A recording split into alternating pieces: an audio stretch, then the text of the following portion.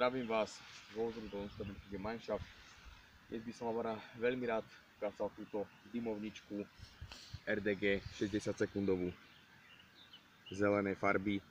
Ono, čo sa dymovníc týka, veľmi dobre viete, dobre sa používajú pri rôznych taktických hrách, takisto pri uh, airsofte. No ale keď ste niekde v prírode, uh, tak vám niekedy môže zachrániť život. Buď takáto dymovnica, alebo rímska svieca, v prípade nejaká svetlica. Uh, niečo sa vám stane, ste sami, hľadajú vás po prípade, alebo ľudia môžete použiť túto dymovničku alebo nejakú inú svetelnú signalizáciu. Fakt vám to môže zachrániť život.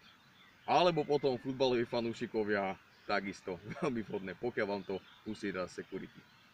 Čiže, dáte dole kryt.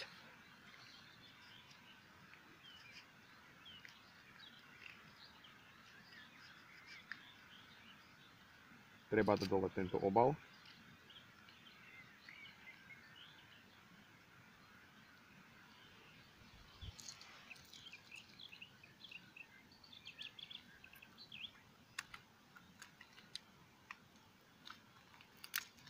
a vyťahnuť poistku. Poistka sa potom ťaha z boku.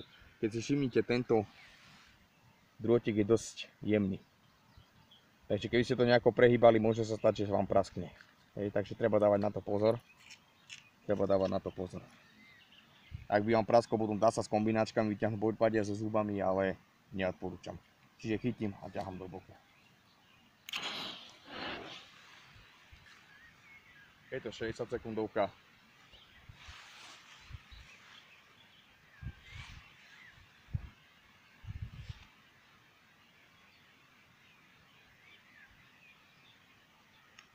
Farba je pomerne dosť síta.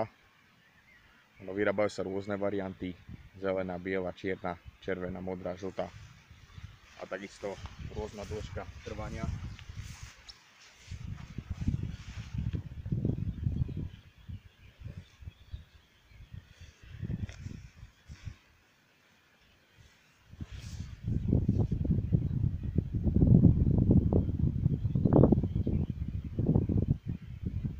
Myslím si, že keby vás niekto hľadal a použijete túto dymovnicu, tak by ste nemal nejaký väčší problém vás nájsť, respektíve pod ktorom sa nachádzate.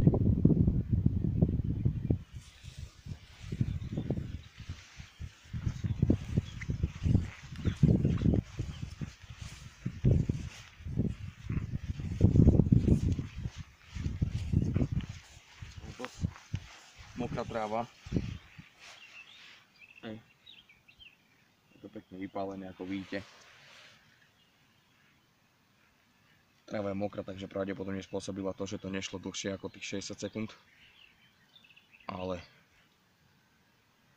myslím, že svoj to má. Takže ak ste nejakých veľkých vysokost alebo dlhých vysokovských túrach chcete niečo, aby vás v prípade úrazu našli, tak svetelné signalizácie ako rímske sviece, svetlice a divovnice odporúčam. Tak, majte sa pekne.